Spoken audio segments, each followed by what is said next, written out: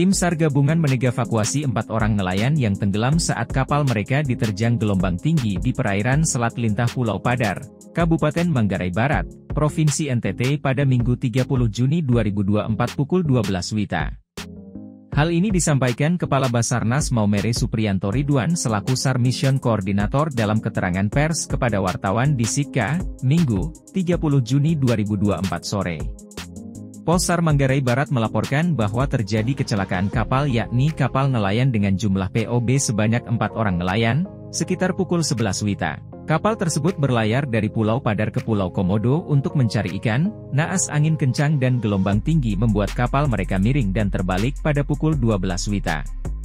Ia menjelaskan, tim SAR langsung dikerahkan menggunakan kapal Ripos SAR Manggarai Barat menuju lokasi kejadian sekitar pukul 13.50 WITA. Saat di perjalanan menuju lokasi, tim berpapasan dengan Speed Sea Zaidan yang telah terlebih dahulu menyelamatkan keempat korban yang kebetulan melintas di lokasi kejadian dengan sigap tim langsung mengevakuasi seluruh korban menuju Labuan Bajo menggunakan kapal RIP untuk mendapatkan perawatan medis.